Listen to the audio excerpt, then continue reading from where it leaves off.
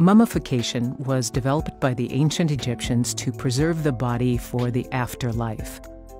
Typically, all internal organs were removed before mummification, with the exception of the heart. But in this case, the heart was removed and the lungs were left intact.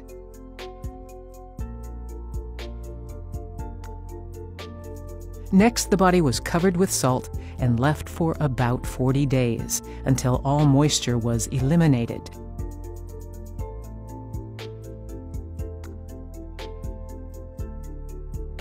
Perfumed oils and plant resins were rubbed on the body. Thick layers of resin were applied to glue the strips of linen that were wrapped around the body.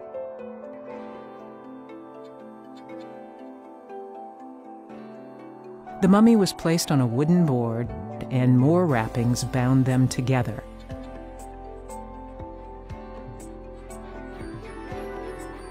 A mysterious pouch, perhaps of religious significance, was placed on the chest.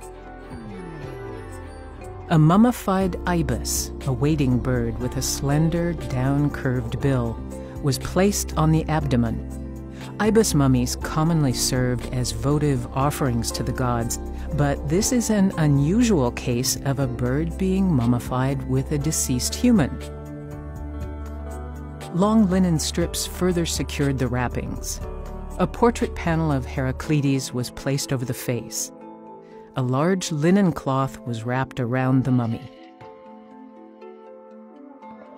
The shroud was painted red with an imported lead based pigment. This treatment is rare. Very few red shroud mummies are known to exist. Egyptian symbols of protection and rebirth were painted on the outer cloth with pigments and gold. Finally, Heraclides' name was written in Greek at the feet.